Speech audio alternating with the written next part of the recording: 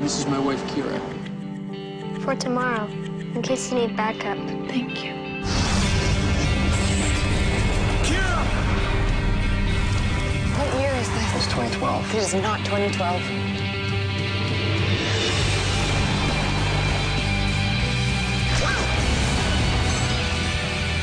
Continuum premieres May 27th only on Showcase.